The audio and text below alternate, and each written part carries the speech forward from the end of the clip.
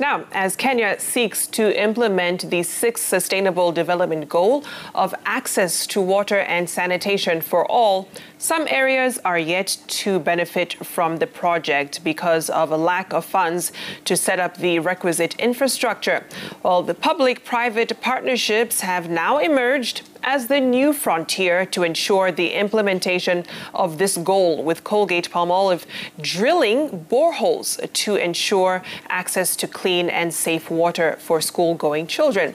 And as Laura Otieno reports, the changes have impacted the academic performance of learners in Homa Bay County and five other counties where the boreholes are being drilled. Okay, now class, we want to... It is 8 a.m. on Friday at the Manywanda Primary School in Homa Bay County.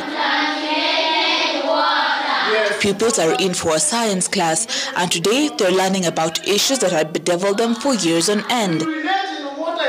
Scarcity of clean water.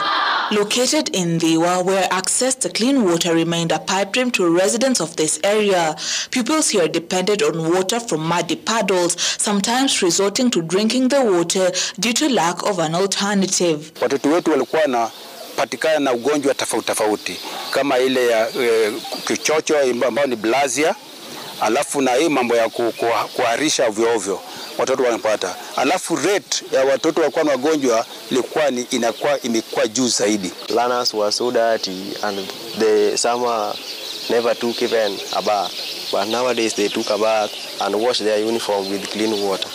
According to a 2020 report by UNICEF, about 226 million people in Eastern and Southern Africa lack access to basic drinking water services. In the education sector, an average 78 million school-age children have no access to drinking water services in schools, with a report calling on public-private partnerships to increase funding towards the setting up of infrastructure to ensure access to safe water. In Manywanda Primary School, this borehole that was drilled by the Well Boring Africa Company in collaboration with Colgate Palmolive has alleviated the woes of those who had to contend with the unsafe drinking water, not just the learners but also the wider community in the area. Eh, it impacted so well in our result and the school improved tremendously from a mean of 209 to a mean of 247.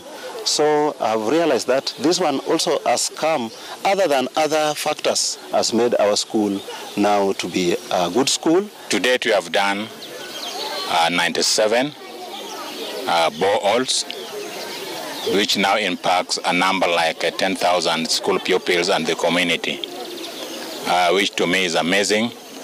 And we are seeing uh, a lot of impacts. The school retention is increasing in every schools academic performance is becoming good. The general health of the people in the schools are definitely becoming good. Other areas that have benefited from the program are Kisumu, Siaya, Kakamega, Migori, and Kwale counties. Laura Otieno, Citizen TV.